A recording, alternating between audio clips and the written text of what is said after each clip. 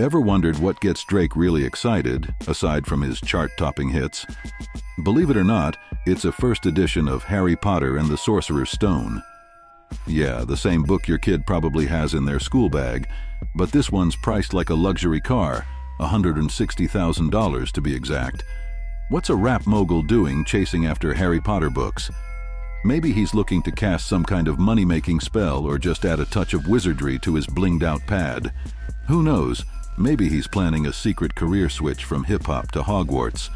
In a world where fame can buy almost anything, why not a little magic too?